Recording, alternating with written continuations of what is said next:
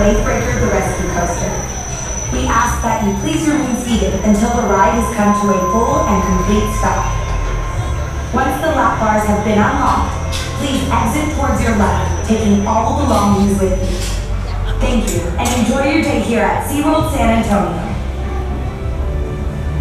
For those of you who are now boarding, please secure all hats, glasses, wallets, keys, and other loose articles, and step into the coaster as quickly and safely as possible.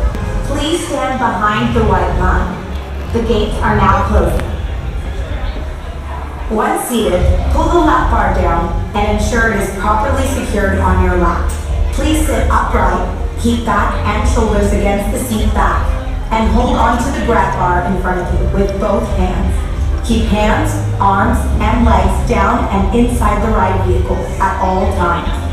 Now, get ready. Your rescue mission is about to begin.